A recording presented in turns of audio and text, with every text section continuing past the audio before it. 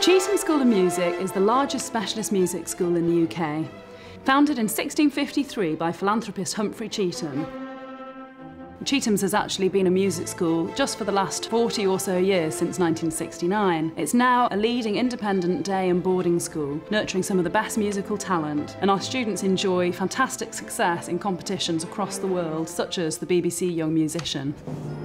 Based in the heart of Manchester, it has nearly 300 students aged from 8 to 18, not just from the UK, but also from nearly 20 countries around the world.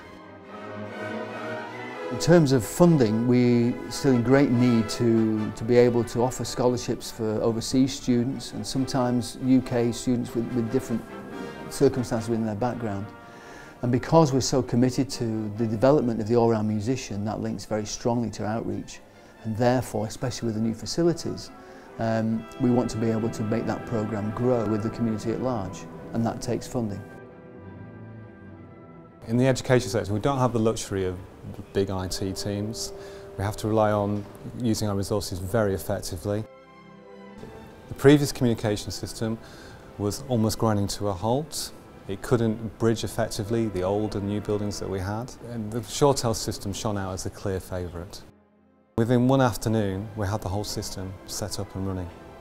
Unified communication has helped us enormously in that we now only have to look in one place to obtain all the information instead of swapping between voicemail systems and email systems, given that we can be in any building in the school now, obviously, we are able to make conference calls, which is an extremely useful facility. Whereas before, if a discussion need to be had about a certain issue, we all had to make time to be in, in the same place at the same time. Now, obviously, we can just get on the phone, everybody's on the phone together, the discussion's had, the decision is made instantly, and everybody's in the picture straight away. Armstrong Communications is a Manchester-based telephony company uh, established around 16 years ago. We specialise in delivering applications to medium and large organisations such as Edinburgh Woolen Mill, Age UK. We've deployed formal and informal contact centre software and unified communications. As Cheetham School of Music were building this new £31 million complex and had lots of projects to manage at any one time, they wanted to ensure that they dealt with reliable organisations that could deliver on time and to their requirements.